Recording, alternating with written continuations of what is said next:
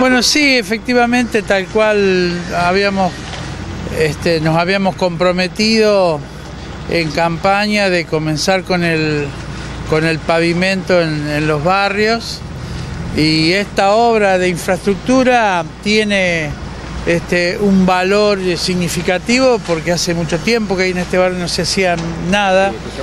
Y lo que eh, y una de las últimas obras que faltaban este, eh, ejecutar es precisamente el pavimento porque esta obra se hace con el Fondo de Infraestructura Provincial que se votó a fin de año en la legislatura y la gobernadora nos otorgó a los municipios ese monto que yo ya les he adelantado para distintas obras. En el caso de Bragado, nosotros habíamos previsto la avenida Circunvalación, este, el polideportivo, la planta de reciclado y, el pavimento. Cuatro obras. Bueno, las otras tres ya están en plena ejecución y faltaba comenzar con el pavimento, que es lo que hemos hecho en el día de hoy.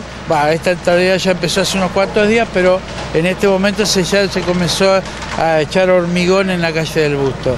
Esta obra ya ahora comienza sin solución de continuidad, vamos hasta terminar.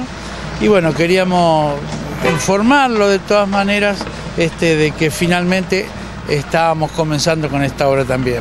¿Cuántas cuadras son? Y estas son alrededor de 30 cuadras en total, van a ser unas más de 20 en esta zona y vamos a terminar la calle Buenos Aires, este, que es la avenida prolongación de la calle San Martín, hasta el complejo deportivo municipal y también este, eh, terminar esas dos cuadras de eh, Hermanos Islas hasta Sarmiento, que quedaron inconclusas desde hace muchos años, que está desde el hospital hasta la calle Sarmiento.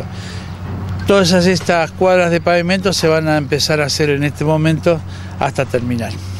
¿Hay un plazo ya previsto para la finalización de todas estas cuadras? Nosotros como son eh, independientes una obra de la otra, este, la vamos a ir haciendo en, la medida que el tiempo nos acompañe y que nos llueva y demás, las calles se van a ir haciendo. Nosotros la idea es para fin de año tener la mayor cantidad de, cuadras terminadas.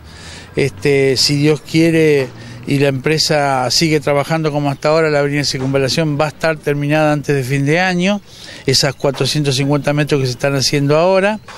Este, y el polideportivo ya tiene otra fecha porque es más compleja la realización, son este, eh, obras de mayor envergadura y entonces este, eh, no, no, eso va a ser a mediados del año que viene.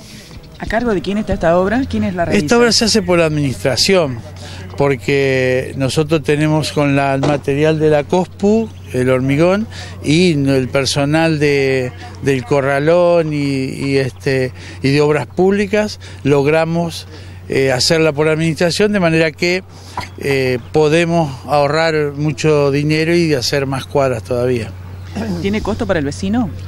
Sí, todas las cuadras tienen costo para el vecino. Lo que nosotros vamos a hacer este, es generar la posibilidad de que todos puedan tener el pavimento eh, y lo puedan pagar. Esta obra inclusive, hay vecinos de esta mm, zona que tienen el cordón cuneta pago hace muchísimos años.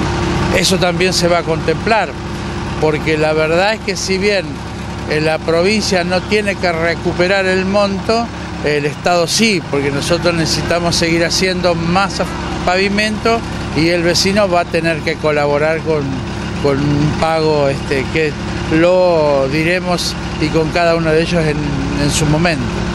¿Cuánto cuesta hacer una cuadra de asfalto? Y yo la verdad no tengo el costo fino, pero estimo que, que, por administración estará en el orden de los 700 mil pesos. Es posible que me equivoque, por lo tanto los ingenieros que me tengan un poco de compasión. Una, Puede, estar en el orden de los 600, 700 mil pesos, según lo que hemos hablado con el ingeniero Bolini.